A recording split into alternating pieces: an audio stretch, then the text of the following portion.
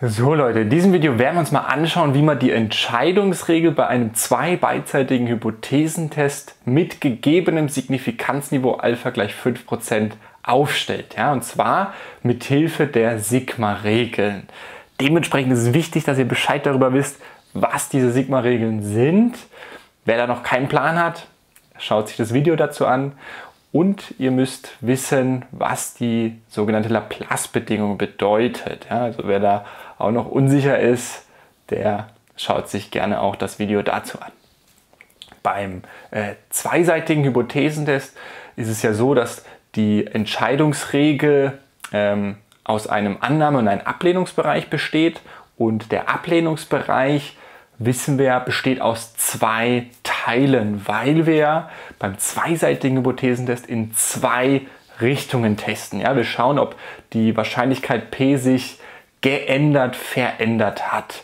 Und der Unterschied ist ja beim einseitigen Hypothesentest schauen wir immer nur in eine Richtung, also ist P größer oder ist P kleiner als die in der Aufgabenstellung getroffene Aussage darüber. Ja, und dementsprechend um eine Entscheidungsregel aufstellen zu können beim zweiseitigen Hypothesentest, benötigen wir diese beiden kritischen Werte KL und KR. Ja, das sind jeweils die Werte im Ablehnungsbereich. KL ist der kritische Wert links sozusagen im Ablehnungsbereich auf der linken Seite, der den Ablehnungsbereich vom Annahmebereich trennt. Und der kritische Wert KR ist eben der kritische Wert rechts im Ablehnungsbereich, sozusagen der den ähm, Ablehnungsbereich vom Annahmebereich auf der rechten Seite trennt. Und es gibt eine sehr effiziente, schnelle Möglichkeit, diese beiden Werte zu berechnen mit Hilfe der sogenannten Sigma-Regeln. Ja, jetzt wissen wir aber, die Sigma-Regeln dürfen wir nur anwenden, wenn eine Normalverteilung vorliegt. Es ist aber so, dass in der Regel eben hier in den Aufgabenstellungen eher eine Binomialverteilung gegeben ist.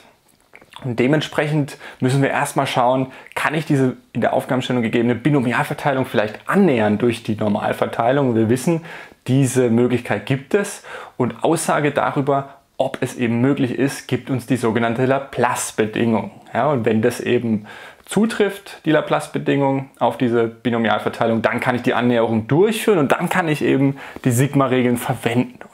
Wir gehen jetzt mal darauf ein, wie man die berechnet, dann diese beiden kritischen Werte KL und KR. Hier rechts haben wir jetzt im Schaubild gegeben auf der ähm, x-Achse sind quasi alle möglichen Werte von 0 bis n. Ja, also wir haben eine Stichprobe beim zweiseitigen Hypothesentest, der die Länge n hat und dementsprechend kann unsere Testgröße x nach Auswertung von dieser Stichprobe einen Wert zwischen 0 und n annehmen, ja, also eine Trefferanzahl sozusagen. Und der wahrscheinlichste Wert, der angenommen wird von der Testgröße x in der Stichprobe, ist eben der Erwartungswert μ. Sehen wir hier, ja, hat die höchste Ausprägung hier, die Wahrscheinlichkeit p ist am höchsten, am wahrscheinlichsten. Und je weiter wir uns weg entfernen hier von diesem Erwartungswert, desto unwahrscheinlicher ist es. Ja. Die Wahrscheinlichkeit sinken hier, dass eben der, äh, die Testgröße x da einen Wert annimmt. Und wir wissen jetzt beim zweiseitigen Hypothesen ist es so, wir haben einmal eine linke Seite von 0 bis zu diesem kritischen Wert k links, ähm, wo die Nullhypothese eben verworfen wird. Wir haben einen mittleren Bereich sozusagen, der ähm, beschreibt den Annahmebereich, ja, da wird die Nullhypothese angenommen und wir haben eben noch eine rechte Seite im Ablehnungsbereich, die geht von dem kritischen Wert rechts bis zu ähm, der Länge n der Stichprobe. Ähm, ja, das ist eben der rechte, die rechte Seite des Ablehnungsbereichs.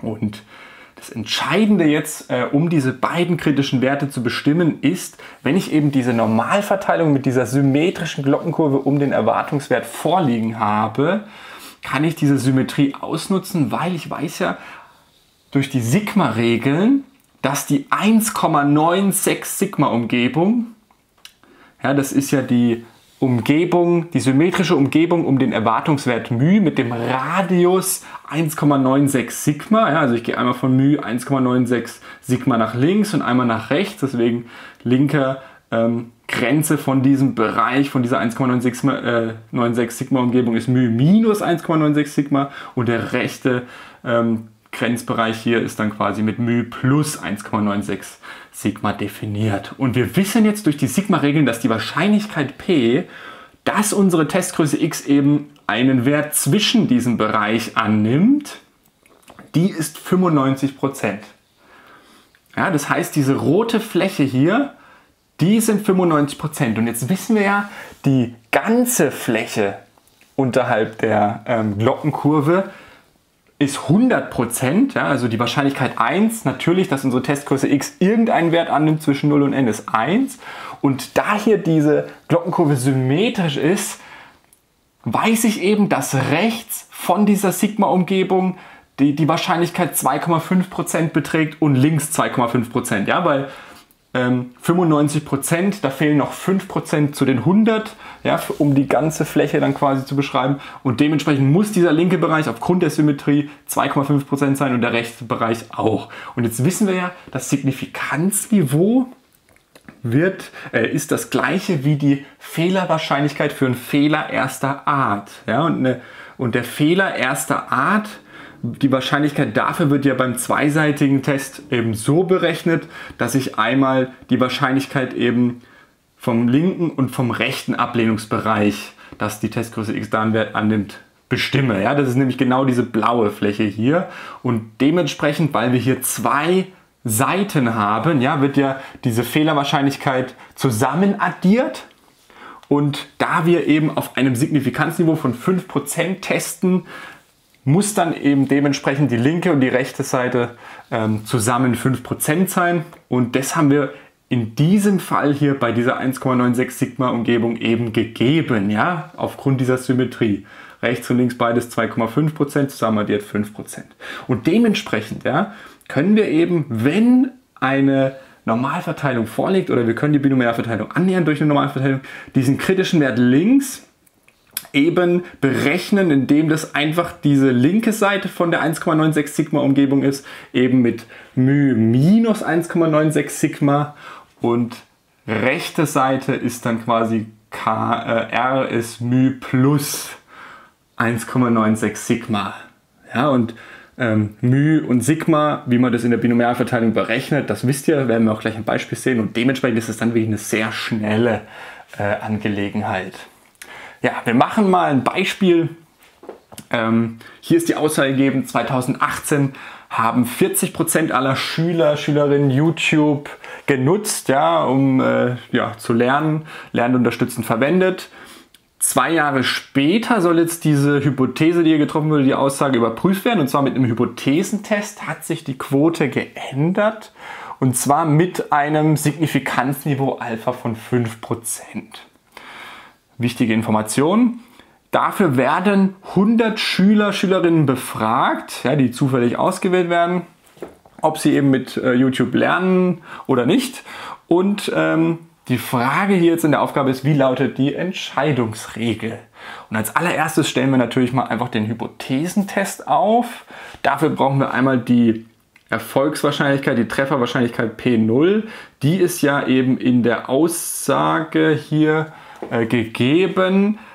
2018 haben 40% aller Schülerinnen YouTube zum Lernen genutzt. Das heißt, wir definieren einen Treffer, wenn wir eine Schülerin in dieser Befragung erwischen, die YouTube zum Lernen benutzt. Und einen Nicht-Treffer wäre dann eine Schülerin, die YouTube zum Lernen, äh, die nicht YouTube zum Lernen benutzt. Ja. Und äh, Dementsprechend ist die Erfolgswahrscheinlichkeit, dass eine Schülerin eben YouTube zum Lernen nutzt, hier in der Aussage getroffen mit 40% Also P0 ist 0,4. Und was ist unsere Länge der Stichprobe N? Naja, wie viele Leute werden befragt? Hier Befragung von 100 Schülerinnen, das heißt die Stichprobengröße ja, sind 100, N ist dementsprechend 100. Und wichtig hier ist eben noch die Aussage über das Signifikanzniveau Alpha ist eben 5%, eben 0,05. So, und jetzt stellen wir erstmal den Test auf, bevor wir auf diese ähm, Frage eingehen. Was ist hier das Stichwort? Und zwar hier ist jetzt das Stichwort geändert. Ja, die Frage hier in der Aufgabenstellung ist ja, hat sich diese in der Aussage, in der Hypothese getroffene ähm, Aussage über die Erfolgswahrscheinlichkeit, dass ein Schüler YouTube nutzt, hat die sich geändert, ja, diese zwei Jahre später, verändert. Und bei dieser Änderung ist es immer eben ein Signalwort für ähm, einen beidseitigen, für einen zweiseitigen Hypothesentest. Ja? Also wir schreiben auf, zweiseitiger Hypothesentest. Ja, und wie sieht denn beim zweiseitigen Hypothesentest die Nullhypothese dann aus? Naja, die Aussage ist, dass P gleich 40% ist, also 0,4. Und die Gegenhypothese sagt eben, dass P sich geändert hat und ungleich 0,4 ist dementsprechend. So, und jetzt ist die Frage, wie lautet die Entscheidungsregel? Das heißt, wir wollen den Annahme- und Ablehnungsbereich aufstellen. Und wir wissen, ja, um den aufstellen zu können, brauchen wir bei dem zweiseitigen Test eben diese beiden kritischen Werte KL und KR. Und wir können ja jetzt einfach diese Formel hier verwenden, wenn wir eine Normalverteilung vornehmen haben. Oder hier in dem Fall haben wir eine Binomialverteilung vorliegen. Ja, wir haben zwei Treffermöglichkeiten, nämlich entweder unsere Schülerin nutzt YouTube oder nicht. Äh, wir haben eine äh, Wahrscheinlichkeit P0, Erfolgswahrscheinlichkeit mit 0,4. Wir haben eine Länge der Strichprobe n gleich 100. Das heißt, wir haben hier die Binomialverteilung vorliegen. Bin ähm, mit 100 für n und die Wahrscheinlichkeit p 0,4. Und die Frage ist jetzt, kann ich diese Binomialverteilung annähern durch eine Normalverteilung? Und diese Antwort auf diese Frage gibt uns ja die Laplace-Bedingung, nämlich wenn unser Sigma, also unsere Standardabweichung von dieser Binomialverteilung größer ist als 3, dann kann ich diese Annäherung durchführen. Wie berechnet sich in der Binomialverteilung unsere Standardabweichung? Sieht man naja einfach mit n mal p mal 1 minus p und davon die Wurzel ziehen. Ja, machen wir mal, also n ist 100 mal p ist 0,4 mal 1 minus 0,4 ist 0,6. Ja, und was kommt da raus, wenn ihr richtig gerechnet habt? 4,9, das ist größer als 3. Das bedeutet eben, die Laplace-Bedingung ist erfüllt. Ja? Und dementsprechend kann ich jetzt diese Binomialverteilung mit n gleich 100p äh, gleich 0,4 annähernd durch die zugehörige Normalverteilung mit den Werten eben μ, dem Erwartungswert μ. μ wird berechnet in der Binomialverteilung mit n mal p, also 100 mal 0,4. 100 mal 0,4 ist einfach 40. Und ähm, die Standardabweichung Sigma ist 4,9. Ja?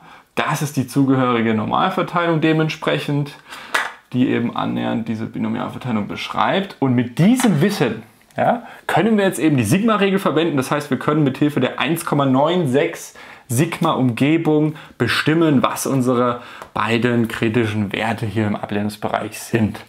Dementsprechend, was ist dann KL? Also KL, nicht so schönes L. ja, μ minus 1,96 Sigma. μ haben wir gesagt ist 40 also 40 minus 1,96 mal Sigma. Sigma ist 4,9. Und da kommt dann raus circa 30,396. So, und das Ding ist jetzt aber, das ist ja hier eine Kommazahl, eine Dezimalzahl. Das habe ich vorhin vergessen zu sagen, das ist ganz wichtig. Ähm, wenn wir hier eine Kommazahl, eine Dezimalzahl rausbekommen für den kritischen Wert k, dann werden wir beim linken äh, kritischen Wert immer abrunden. Ja, also wenn da eine 7,8 rauskommt, zum Beispiel, runden wir auf 7 ab und beim rechten kritischen Wert werden wir immer aufrunden. Man nennt es zu Runden zur sicheren Seite, ja, damit eben diese Bedingung mit dem Signifikanzniveau von 5% ähm, erfüllt ist. Und dementsprechend hier beim linken äh, kritischen Wert wird immer abgerundet. Das heißt, wir runden 30,396 ab. Dementsprechend ist unser K dann eben 30. Ja, ist logisch. Also wir können ja hier für, für äh, kritische Werte nur ganze Zahlen annehmen, weil es gibt ja auch nur ganze Schüler und Schülerinnen, die YouTube nutzen und nicht halbe. genau. Ah, das ist KL. Und dementsprechend, wie berechnet sich dann KR? Naja, wir dürfen die Sigma-Regel verwenden.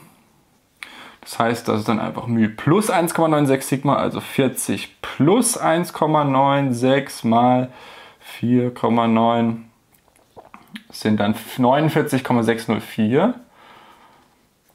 Und wir haben gesagt, beim rechten kritischen Wert im Ablehnungsbereich müssen wir immer aufrunden, ganz wichtig. Und aufgerundet gibt es dann 50.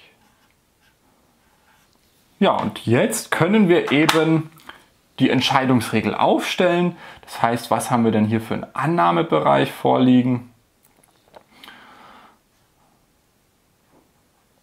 Naja, wenn eben unsere Stichprobe ergibt, dass entweder 1 größer als den kritischen Wert links, also 31 Schüler YouTube nutzen bis zu 49 Schüler, ja, eins weniger, dann ähm, wird unsere Nullhypothese angenommen, ja, dass diese Wahrscheinlichkeit eben 40% beträgt. Das heißt 2018, die Aussage, die hier getroffen wurde, gilt auch zwei Jahre später.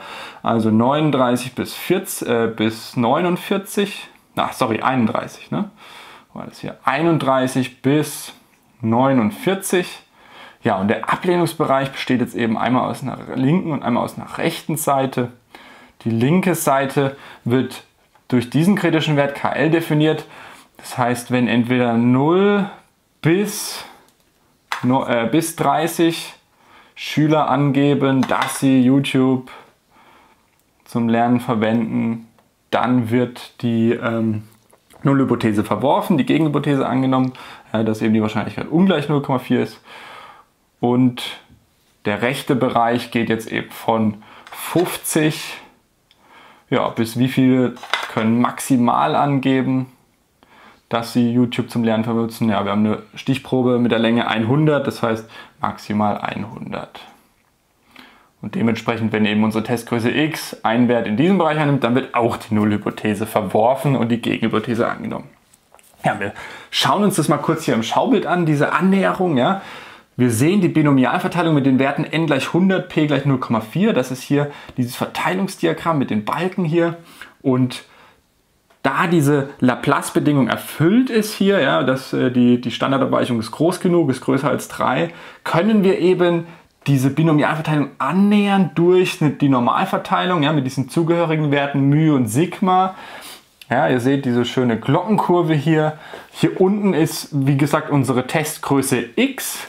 Und ja, bei 40, das ist ja dieser Erwartungswert, ähm, haben wir die höchste Ausprägung, der, der ist am wahrscheinlichsten. Den Wert erwarten wir. Wir erwarten also eigentlich in dieser 100 ähm, 100er Stichprobe, dass 40 Schülerinnen angeben, dass sie YouTube verwenden. Wenn aber eben in diesem Bereich eben unsere Testgröße x liegt, das heißt nur 0 bis eben 30 Schüler geben an, dass sie ähm, YouTube verwenden zum Lernen, dann verwerfen wir die äh, Nullhypothese und hier dementsprechend für den rechten Bereich gilt 50 bis 100. Und wenn aber eigentlich diese Verteilung gilt, also die ist eigentlich wahr, ja, dann ist ja, ähm, und ich lehne die ab, weil ich eben einen von diesen Werten annehme hier, äh, die Test für die Testgröße x, dann ist es ja ein Fehler erster Art. Das heißt, unser H0 wird eigentlich fälschlicherweise verworfen. Diese Wahrscheinlichkeit soll insgesamt eben so bei 5% liegen. Das ist ja das Signifikanzniveau. Und dementsprechend haben wir jetzt KL und KR so gewählt, dass das eben erfüllt ist. Ja, dass hier ähm, diese Fehlerwahrscheinlichkeit insgesamt, linke Seite plus rechte Seite, insgesamt 5, bei 5% liegt circa. Und das können wir eben mit Hilfe der Sigma-Umgebung 1,96 Sigma ja, berechnen. Ganz wichtig, ja, wenn ihr ein anderes Signifikanzniveau gegeben habt, dann müsst ihr eben schauen, welche Sigma-Umgebung müsst ihr verwenden. Zum Beispiel, wenn das 10% ist, dann muss diese Wahrscheinlichkeit hier 5% sein und hier auch 5%. Und wir wissen ja, die 1,64 Sigma-Umgebung, ja, die ist schon ein bisschen kleiner, die hat eben 90% und dann könnten wir es mit der berechnen. Ja, da müsst ihr dann halt schauen und dementsprechend dann die Werte wählen.